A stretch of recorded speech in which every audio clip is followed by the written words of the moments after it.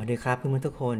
วันนี้เรามีโปรเจกต์มาฝากกันนะครับ โปรเจกต์ที่จะใช้สอนวิธีการใช้งานเซนเซอร์ TCRT 5000L ร่วมกับ Arduino เพื่อใช้สร้างเป็นสวิตช์เปิดปิดไฟแบบไร้การสัมผัสนะครับสำหรับใครที่ยังไม่รู้จักเซนเซอร์นี้ เซนเซอร์ TCRT 5000L เป็นเซนเซอร์ที่ใช้อินฟราเรดในการตรวจจับวัตถุ และวันนี้เราจะใช้มันในการสร้างสวิตช์แสงแบบง่าย ๆ ก็ก็โค้ดตัวอย่าง แล้วก็การต่อวงจรตามหน้าเว็บนี้นะครับ เมื่อต่อวงจรแล้วก็อัปโหลดโค้ดเสร็จแล้ว เรามาลองทดสอบกัน เราก็จะเอามือไปบางที่เซนเซอร์นี้นะครับ ก็เห็นว่ามีไฟ LED ติดนะครับ แล้วก็ถ้าแต่ถ้าเอามาบังอีกทีนึงก็จะเห็นว่า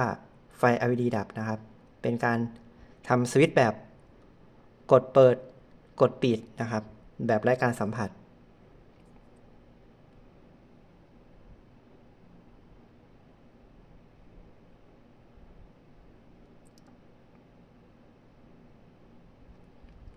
ก็หวังว่าเพื่อนๆคงทำกันได้นะครับ